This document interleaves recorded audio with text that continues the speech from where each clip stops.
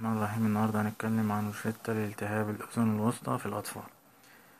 طبعا أول حاجة على طول ديوروسيف ميتين وخمسين مضاد حيوي آه معلقة خمسة مللي كل تمن ساعات بعد الأكل لمدة سبعة من سبعة لعشرة أيام.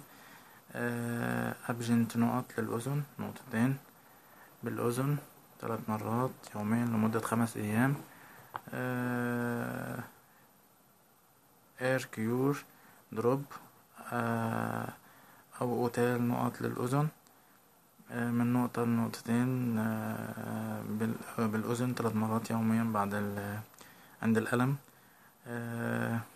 فولتارين لبوس أطفال برضو مسكن اتناشر ونص. طيب. ديوروسيف شراب ينتمي لمجموعة السيفالوسبورين وهو مثل أبيدروكسيل وزينات شراب وفيلوسيف شراب وجميعها تقضي على معظم الميكروبات التي تصيب الأذن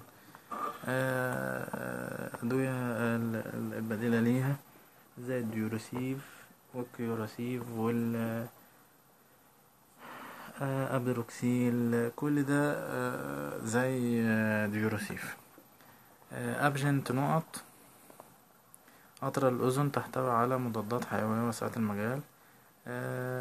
بعض قطرات الأذن تحتوي على مضاد حيوي مثل بيتاميثازون مشتقات الكورتيزون الغرض من الكورتيزون هو تقليل الالتهاب الشديد والحكة التي عادة تكون مصاحبة لالتهاب الأذن الوسطى معظم قطرات العين المحتوية على مضادات حيوية يمكن استعمالها للأذن ولكن لا يمكن استعمال قطرة خاصة للأذن فقط للعين.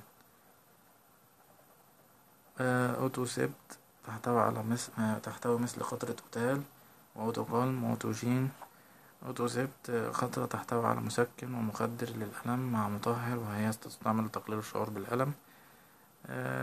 فولتارين لبوس طبعا زي بيبي ريليف وهو مسكن مخفض للحرارة. يمكن بعد عمر ست شهور إعطاء الأدوية المحتوية على مادة إيبوبروفين. مسكنة برضو. والسلام عليكم ورحمة الله وبركاته.